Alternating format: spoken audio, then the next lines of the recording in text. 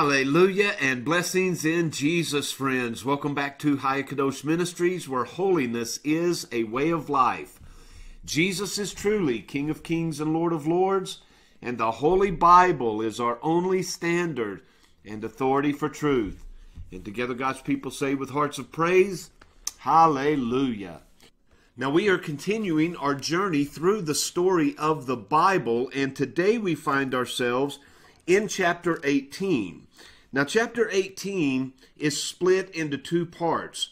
The first part is going to be the story of three visitors. Now, one of these visitors is the Lord Himself, the Almighty. The other two is simply speculative. And so, chapter 18 begins by saying, The Lord appeared unto him, unto Abraham, in the plains of Mamre, and he sat in the tent door in the heat of the day. And when he lifted up his eyes and looked, lo, he saw three men that stood by him. And when he saw them, he ran to meet them from the tent door, and bowed himself toward the ground.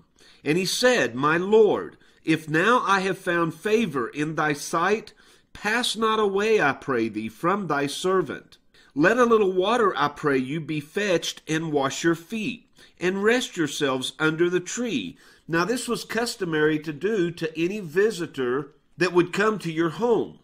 And so Abraham continues in verse 5. He says, I will fetch a morsel of bread, comfort ye your hearts. After that you shall pass on for therefore are you come to your servant. And they said, So do as thou hast said. And so, after preparing a meal for them and dining together, the Lord reconfirms what he has already told Abraham and Sarah that they are going to have a child. Now, when Sarah overhears this, she laughs because she's an old woman. She's well beyond her years of producing children. And so the Lord says to Abraham in verse 13, Why did Sarah laugh? Is anything too hard for the Lord? And in verse 15, Sarah denies saying, I did not laugh, because she was afraid. Well, it is at this point in the story, in the chapter, that we're going to see the split. And so verse 16 says, The men rose up from thence, they looked toward Sodom, and Abraham went with them to bring them on the way. Now the Lord said, Shall I hide from Abraham what I'm about to do? For surely Abraham will be a great and mighty nation, and all the nations of the earth will be blessed in him. I know him. I know that he will raise up and teach his children properly. They shall keep the way of the Lord to do justice and judgment. And so the Lord says in verse 20, Because the cry of Sodom and Gomorrah is great, and because their sin is very grievous, I will go down now, and I will see whether they have done altogether according to the cry of it, which is come unto me, and if not, I will know. And so the men turned their faces from thence and went toward Sodom. But Abraham stood yet before the Lord. Now remember, when Abraham and his nephew Lot grew too large to live among each other, they went their different ways. And we're told Abraham remained in the plain, but Lot pitched his tents towards Sodom, eventually moving into Sodom. And so Abraham, realizing that all of Sodom and Gomorrah is not unrighteous, he begins to intercede on their behalf. And so he says in verse 23 Will you destroy the righteous with the wicked? If there be fifty, will you destroy them? And the Lord says, If there are fifty, I will not. Abraham says in verse 28, If there be 45, will you destroy it? And the Lord says, I will not. In verse 29, he says, If there be 40, will you destroy it? And the Lord says, I will not. In verse 30, he says, If there be 30 righteous that be found within the city, will you destroy it? And the Lord says, I will not. Verse 31, Abraham says, If there are 20 that are found, will you destroy it? And the Lord again says, I will not. And Abraham says in verse 32, Oh, let not the Lord be angry, and I will speak yet but once more. If only ten are found therein, would you destroy it? And the Lord said, I will not. However, as we move into verse 19, we see the Lord is about to destroy Sodom and Gomorrah. And so obviously, not even 10 righteous are found within, including Lot and his family. And so verse 1 begins by saying, There came two angels to Sodom at evening, and Lot sat in the gate of Sodom. Lot, seeing them, rose up to meet them, and he bowed himself with his face toward the ground. And what follows in the continuing verses is going to be the story of the destruction of Sodom and Gomorrah, the salvation of Lot and temporarily of his wife, and then her flagrant disobedience in doing precisely what the Lord commanded her not to do. And in our next time together, that's what we'll address. But I want to go back to verse 20 of chapter 18, where the Lord says, Because of the cry of Sodom and Gomorrah, because it is great, and their sin is very grievous, I will now go down and see whether this thing is true. And so let me ask you at this point what is the sin of Sodom and Gomorrah? Well, if you're like most people, you would say homosexuality. And this would include, of course, lesbianism and other perverted sex acts. But what we must understand is that is the final result of the sin of Sodom and Gomorrah. Just as we are told in Romans chapter 1 that as sin begins in the heart of man and they seek to follow the lust of their own hearts, it begins very deceptively and very subtly. But as we as human creatures give ourselves to our own way and we deny God's way, it opens the door to a progression of sin. And ultimately, there comes a point where God withdraws his hand, he lets men loose upon themselves, and the final result leads to perverted sexual acts that God never intended. And it's important that we understand this because there are steps of progression that lead to greater forms of sin. And a couple of examples of that would be, for instance, that of a serial killer. As studies have been done, no one woke up and began killing other people. It started as a childhood fantasy, maybe simply fantasizing about killing other living creatures drawing pictures of these things, writing detailed stories about these acts, then maybe killing something like frogs or lizards or snakes or cats or dogs until their appetite grew so strong, their lust for murder grew so deep that they eventually turned to the ultimate act of murder, which would be another human life. The same with a drug addict who is at this point in his life shooting drugs. Well, when he first began with the curiosity of drugs, he didn't begin by shooting up. He might have began by smoking marijuana, drinking beer, popping a few pills, but the hunger grew, the appetite deepened, until eventually he was sticking needles in his arms. And we know the same to be true about Sodom and Gomorrah when the Lord says again in verse 20, I see that their sin is very grievous, well, if we turn to Ezekiel chapter 16 and verse 49, we're going to learn what the sin of Sodom and Gomorrah actually was. Ezekiel says, Behold, this was the iniquity, this was the sin of thy sister Sodom.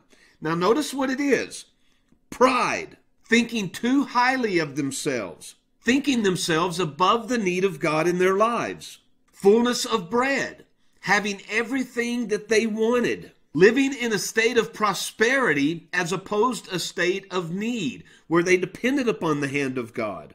Abundance of idleness. You've heard the old saying, idle hands are a devil's playground. Well, this was another form of sin that Sodom and Gomorrah was guilty of. They had too much empty time on their hands. They weren't busy working, and this left them with only time to play where they filled their days with drunkenness and orgies and the like. And they were so preoccupied with themselves, the verse ends by saying, Neither did she strengthen the hand of the poor and needy. They were selfish and self centered and only focused upon pleasuring themselves as opposed to meeting the needs of the poor and needy. They were haughty. They were high minded. They thought much too highly of themselves.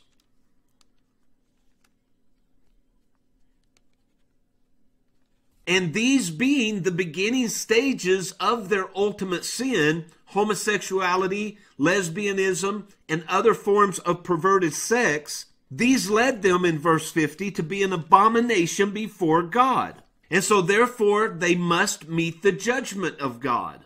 Now this story is crucially important for us as the people of God because it shows us that the danger is in the little things. And so we don't give them as much attention.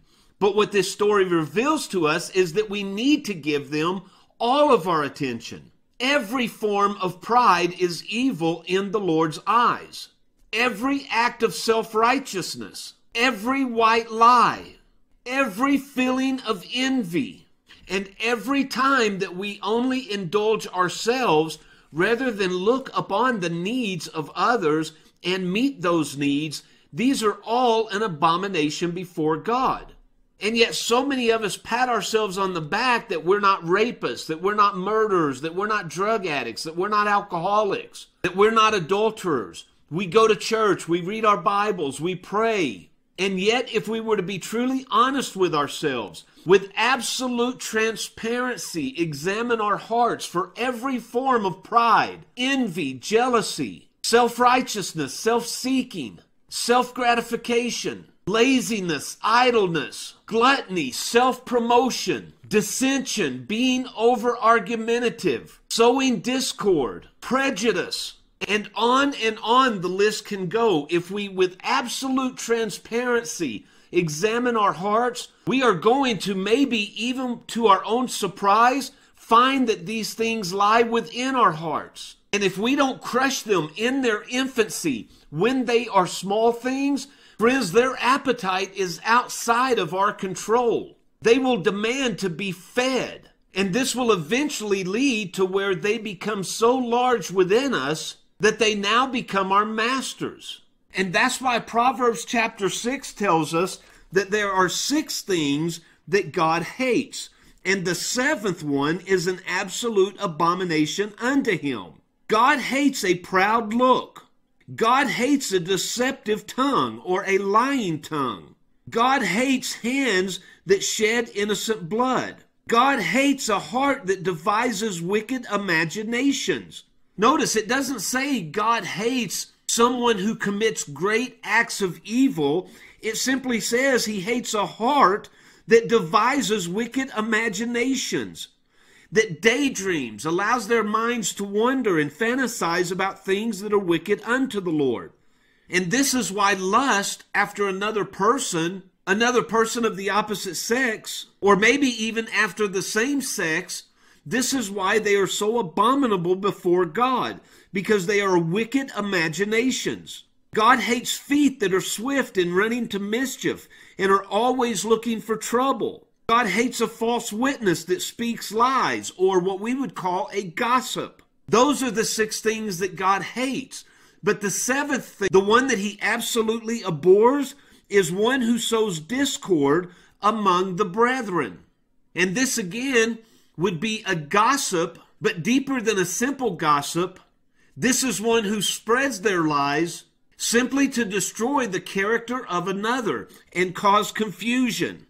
And so friends, let us end today by looking at 2 Corinthians chapter 13 verse 5, where we are told to examine ourselves with open transparency whether to see you are in the faith or not. Prove your own selves. And anything you find within yourself that does not meet the standard of God, friends, take it before Him with fear and trembling, realizing that even as simple as it may be in your mind, it could be the thing that causes your destruction. And so approach the holy God with reverence and fear, with fear and trembling and don't stop asking until He has removed that thing from you so that you can stand before Him with a clear conscience and a clear mind. Knowing that as Paul says in 2 Corinthians chapter 3 verse 11, that if you do not take these things to the Lord, Satan should get an advantage of you. And you are not ignorant of his devices. You are not ignorant of the way that he works. You know that he does not appear as a wolf, but as a wolf in sheep's clothing. He doesn't appear in all his darkness, but as an angel of light. And so let not your focus be upon the larger sins where you find yourself congratulating yourself for not committing such acts, but focus upon the simplest of these things, friends. And be sure, absolutely sure, that you stand clean before the Lord, having through his power rid yourself of such things. Well, I love you, friends. I'm so grateful again that you're with us this morning. I pray that the Word of God is speaking to you and that it is changing you and conforming you into the man and woman of God that He has so created you to be. Now, as He wills, and until next time, I truly love you, and I'll see you on the next video.